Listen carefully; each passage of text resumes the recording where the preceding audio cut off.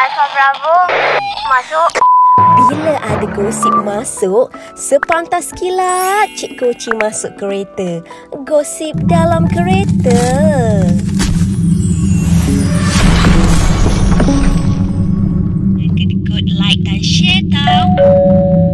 Assalamualaikum dan hola-hola guys. Selamat datang ke Cik Koci Channel. Gosip dalam kereta dengan hashtag Sepantas Kilat. Jom-jom malam ni kita nak cerita mengenai Memang pengganti arwah Sarah. Wati masakkan bekal Untuk bapa mertua Syuib iaitu Raisuddin Masya Allah baiknya dia. Okey kalau anda nak tahu uh, Betul ke tak? Apa cerita selanjutnya? Jom sama-sama kita zas video ni.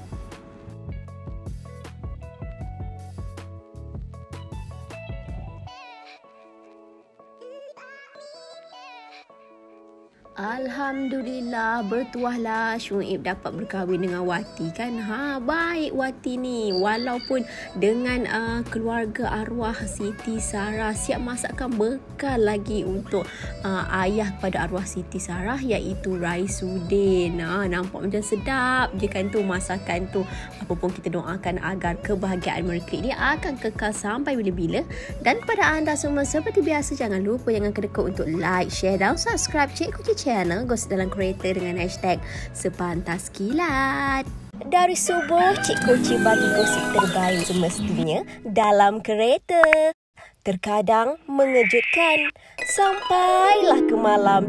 Jangan kedekut like dan share tau. Hashtag Sepantas Kilat.